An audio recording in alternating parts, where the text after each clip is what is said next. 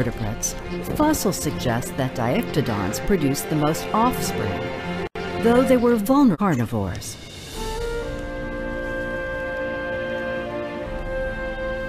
Diictodons huge in their burrows, but they too would feel the impact of the event that would soon devastate the planet.